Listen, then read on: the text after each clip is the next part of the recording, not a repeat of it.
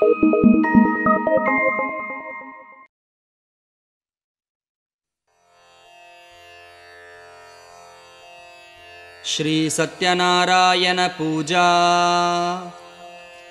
अद्य पूर्वोक्त एवं गुण विशेषण विशिष्टायाम् अस्यां तिथौ नक्षत्रे राशौ जातस्य शर्मणः। मम सकुटुम्बस्य समस्त दुरितोपशमन। सर्वापत्शान्तिपूर्वक सकलमनोरथसिद्ध्यर्थम् यथाशक्ति सत्यनारायणपूजाम् करिष्ये पुष्पाक्षतान् गृहीत्वा नीलवर्णम् पीतवस्त्रम् ध्यायेत् श्रीवत्सभूषितम् गोविन्दम् गोकुलानन्दम् ब्रह्माद्यैरपि पूजितम् श्रीसत्यनारायणस्वामिने नमः ध्यायामि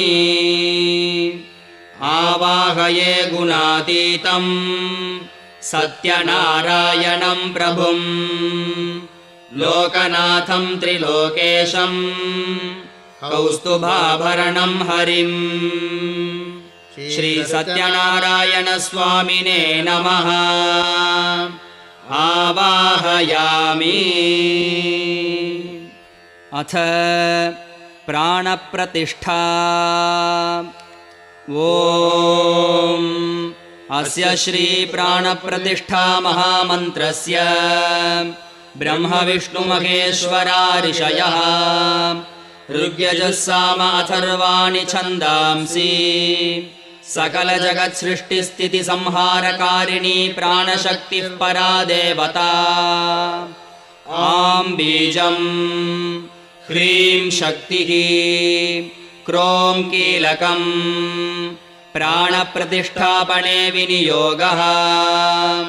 आम् अङ्गुष्टाभ्यान्नमः ह्रीं तर्जनीभ्यान्नमः क्रों मध्यमाभ्यान्नमः आम् अनामिकाभ्यान्नमः ह्रीं कनिष्ठिकाभ्यान्नमः क्रों करतलकरपृष्ठाभ्यान्नमः आम् हृदयाय नमः। ह्रीं शिरसे स्वाहा। क्रों शिखायै वषट्। आम् कवचाय हुम् ह्रीं नेत्रत्रयाय वौषट्। क्रों अस्त्राय फट्। भूर्भुवः सुवरोमिति दिग्बन्धः। ध्यानम् रक्ताम्बोदिस्तवोल्लसदरुणसरोजादिरूढाकराब्जैः पाशम् गोदण्डमीक्षूद्भवमणिगुणमभ्यङ्कुशम् पञ्चबाणान् बिभ्राणाश्रुकपालम् त्रिनयनलसितापीनवक्षोरुहाढ्या देवी बालार्कवर्णा भवतु सुखकरी प्राणशक्तिः पराणः। ॐ आं ह्रीं क्रों क्रों ह्रीं अं यं रं लं वं शं शं सं हं लं क्षम् अह हंसः सोऽहम् सोऽहं हंसः अस्यां मूर्तौ जीवस्तिष्ठतु। अस्यां मूर्तौ सर्वेन्द्रियाणि। वाङ्मनस्त्वच्चक्षुश्रोत्रजिह्वाघ्राणवाक्पाणिपादपायूपस्थानि इहागत्य स्वस्ति सुखं चिरं तिष्ठन्तु स्वाहा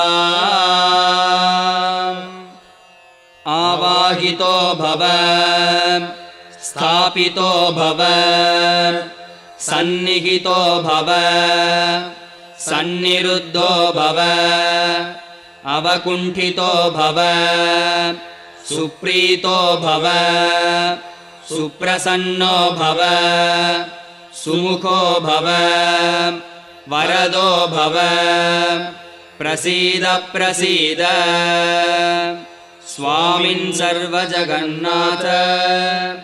यावत्पूजावसानकम् तावत् त्वम् प्रीतिभावेन। बिम्बेऽस्मिन् सन्निधिम् कुरु